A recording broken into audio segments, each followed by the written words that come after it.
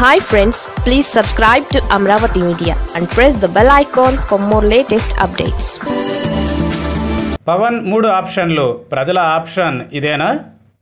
వచ్చే ఎన్నికలకు సంబంధించి పొత్తుల విషయంలో జనసేన అధినేత పవన్ కళ్యాణ్ ప్రకటించిన మూడు ఆప్షన్లు ఎంత సంచలనంగా మారాయో అందరూ చూస్తున్నదే. వచ్చే ఎన్నికలలో బీజేపీని మోయడానికి పవన్కు ఏమాత్రం ఇష్టం లేదు.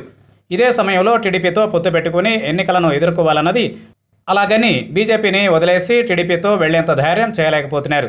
ఇదే సమయంలో పవన్తో పొత్తు పెట్టుకునే విషయంలో చంద్రబాబు వెనకాడుతున్నట్లు తమ్ముళ్ళ మాటలను బట్టి అర్థమవుతోంది.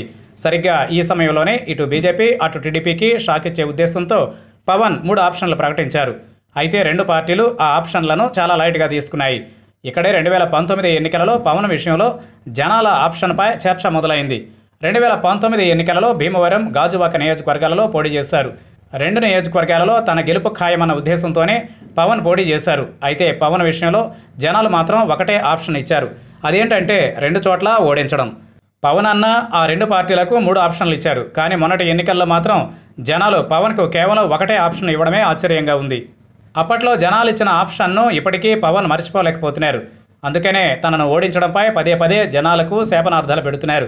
జనాల దృష్టిలో పవన్కున్న ఆప్షన్ ఏమిటనేది ఎప్పుడో స్పష్టమైపోయింది. మరి వచ్చే ఎన్నికలలో జనాలు పవన్కి ఎలాంటి ఆప్షన్ ఇవ్వబోతున్నారనేది ఆసక్తిగా మారింది. అసలు తాను ఎక్కడి నుండి పోటీ చేస్తారనే విషయాన్ని కూడా పవన్ ప్రకటించలేకపోతున్నారు. పవన్ మనసులో ఏముందో తెలియదు కానీ జన సైనికులు మాత్రం పవన్ను తిరుపతి మళ్ళీ గాజువాక భీమవరం భీమిలి కాకినాడ నియోజకవర్గాల్లో పోటీ చేయాలని డిమాండ్ చేస్తున్నారు. మరి పవన్ ఏ నియోజకవర్గాన్ని ఎంచుకుంటారు? అక్కడి జనాల ఆప్షన్ ఏంటనేది చూడాల్సిందే.